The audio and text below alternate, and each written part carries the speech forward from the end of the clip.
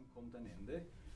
Äh, Ignacio Figueredo, ein Volksmusiker aus, dem, aus den Gran Sabana in Venezuela, schrieb sehr viel für äh, die Besetzung äh, Volksgitarre, Volksharfe und äh, Gesang. Ja?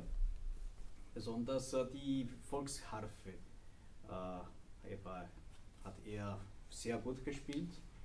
Und da gibt es eine Komposition von ihm, was äh, Alirio Diaz bearbeitet hat für die Gitarre. Das Stück heißt Los Caucharitos.